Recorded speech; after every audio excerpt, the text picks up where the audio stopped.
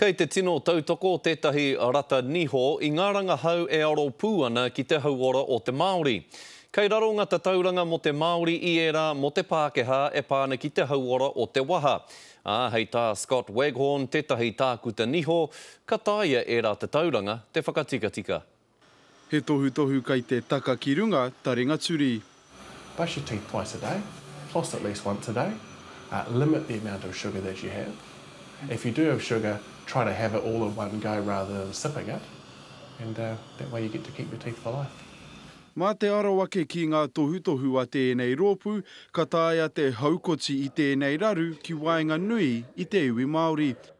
Hei tautoko ake ko Oranga Waha te pukapuka rangahau i te hauora o te Māori e pā ana ki ō rātou niho me ētahi o ngā āwangawanga ka whai atu. Well there's a lot of things that frighten people, let's talk about people generally away from the dentist, number one is that they are scared of how much it costs to come to the dentist because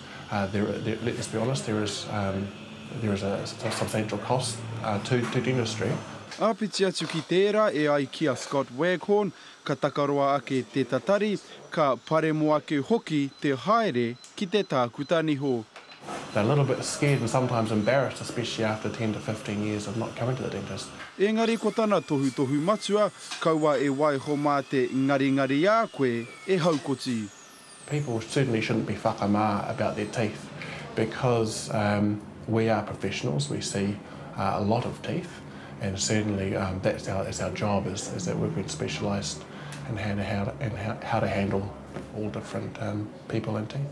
Ko tētahi o ngā kitenga matua o te pukapuka nei, ko te iti o ngā tatauranga e hāngai ana ki te hauora o ngā niho o te Māori. Heta Gardner, Te Karere. I whakahaerehia tētahi hui whakawhiwhi tohu i te kāinga o te Kāwana Tianara Ita rānei. Ko te hunga i whakawhiwhia nei ko ngā akonga Ihumanea nō roto mai i ngā kura tuarua o te motu.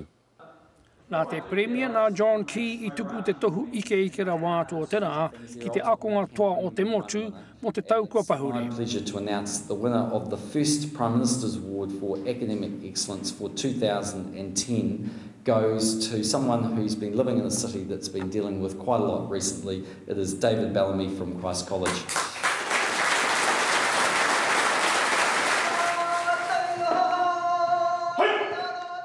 Nā te Kāwana Tianara rāua ko te Minita Mātauranga i tāpae ngā tohu a Te Tari Tohumana Mātauranga o Aotearoa. I eke ai rātou ki te ikeketanga me kī te karamatamata o te rā i roto i ngā mahi whakamātautau. Mō te tohu o te reo Māori puta noa i te motu i riro i a Koha Rogers o Te Kura Kaupapa Māori o Te Waiū o Ngāti Porou. Mighty tino pukumahi te poi nei. Kāre nui ana kōrero, he tama me kīnei kaha nei te tuitui te tangata. ā, me te aronui ki āna mahi, ahakoa te momo mahi, ngā, ngā mahi i waenganui i ngā tauira i te kura. Rawa engari ehara i a te hōnore engari me kī nā ngā, ā, ōku pakeke i te kāinga, ā, nā rātou te hōnore nui i roa i tēnei taonga whakahirahira.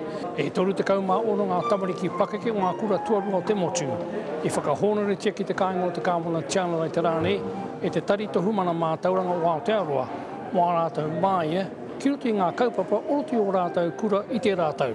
He mea whakahūmārie hoki te tangata ka kitea mai tēnei, tēnei pīau, tēnei pīpī whākao o Ngāti Porou, tuhituhi haere ana i i waku whakamātautau, tē mōhio ka pēnei te puhitai oreore o ngā whakaaro o rātou. Ko te mea mīharo o tēnei rā mō ēnei akonga, kua whiwhi rātou i ngā karahipi hei awhina i a rātou ki roto ngā whare wānanga mō ngā tau kei te tū mai. Joe Glenn, Te Karere.